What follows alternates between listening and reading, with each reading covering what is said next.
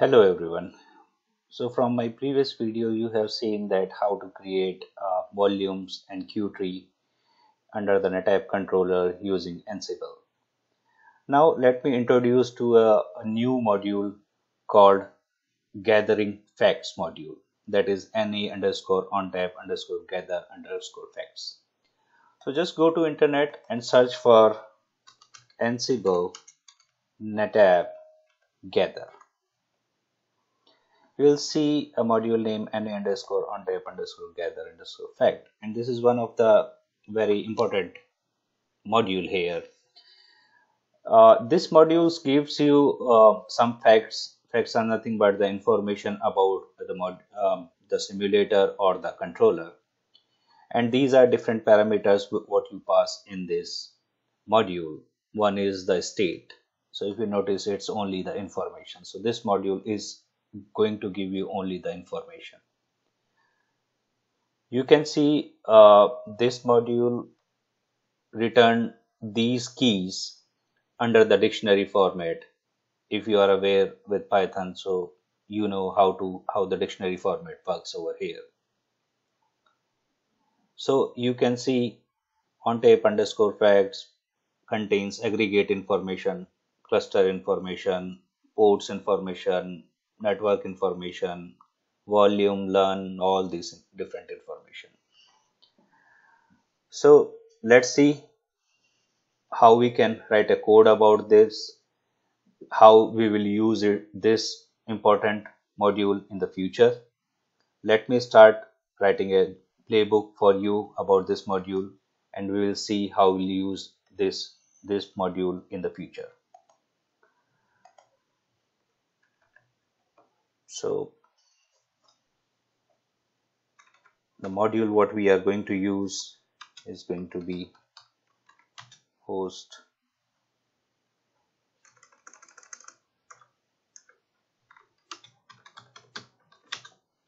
localhost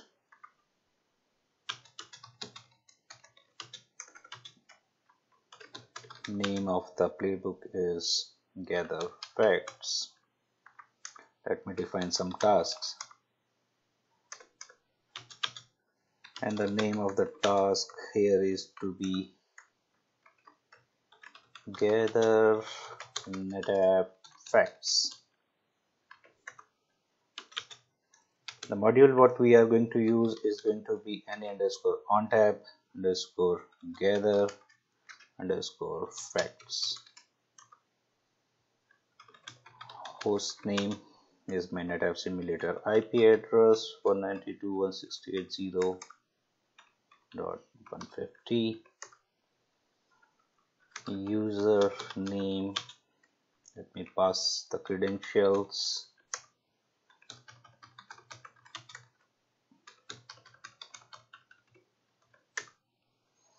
And then as we saw state is going to be info which is pretty self-explanatory that it is going to give us the information about the simulator or NetApp cluster. Let me define other task which is the task name is print facts and this task is going to display the facts on the screen.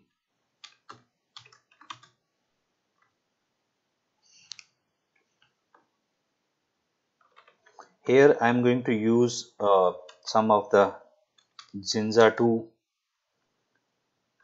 template filters which I am not sure you are aware or not but I will explain about uh, this keyword what I have done here. This looks something different from a normal YAML but uh, this is nothing but a, a Jinja 2 filter or Jinja 2 language we can call it and uh, this is basically used by YAML or Ansible uh, to pass the pass the uh, variables information. We will uh, discuss about Jinja 2 also in the later videos. So it's a simple one. Uh, it's a simple playbook. You can see that uh, I am using this module ontap gather facts to get the controller information or the simulator information and I'm going to print it. Let me save this file. Okay, so file is saved. Let me see if my file is here. I can see my file is in my Ansible controller. Before I go ahead and I run this module, let me see what all are there in my NetApp simulator. So let me see how many volumes are there. I can see there is only one volume Ansible test vol 01. Let me see if there is any Q tree. I can see there is one Q tree. So basically uh, at least this data I should see over there. So let me run this playbook for you Ansible dash playbook and the name of the playbook is gather.yaml perfect. We can see that playbook was successful. You can see that uh, this module has captured so much information for our ansible controller. So you can see that I have aggregate information I have volume information under this it, it is showing me that I have two aggregate aggregate 2 and there is another different aggregate AGGR1 then I should have the volume information also here. This is the cluster node information LUN information network port information. Yeah you can see there are network port E0D E0C you can see failover information. You can see volume information. We can see our volume is also here. As you notice uh, the output of this module it is in a dictionary python dictionary format. And because it is in a dictionary format so it also gives us the facility or gives us the opportunity that we can take only a portion of the command and if we need only a portion of the command. So uh, I will show you uh, how to take the, for example, if I want to see only the volume information. So we will see how we can take the volume information out of this. We know, okay, you can see this is the key for the dictionary I'm going to put it here. This is the key of the dictionary. And I say print only the volume information. Let me run this one more time. Let me clear the screen for you. Let me run this playbook one more time.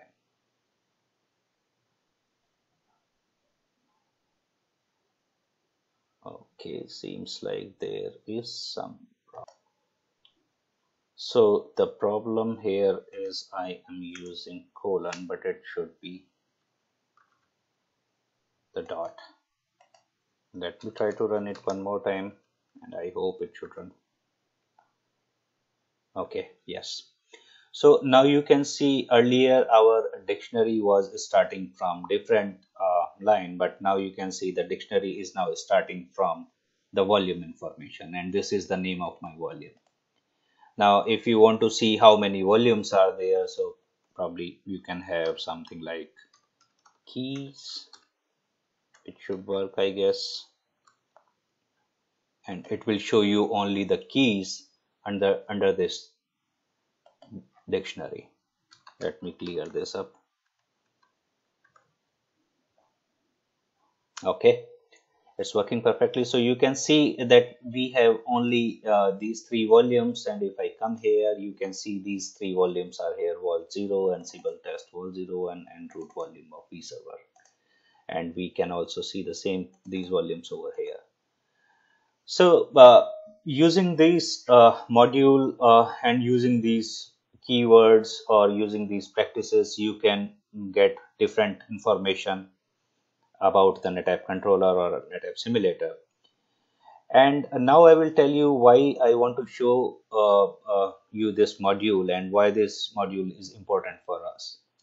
So when we create the volume or when we create the Q tree, we don't know whether that Q tree volume already exists in the simulator or controller or not.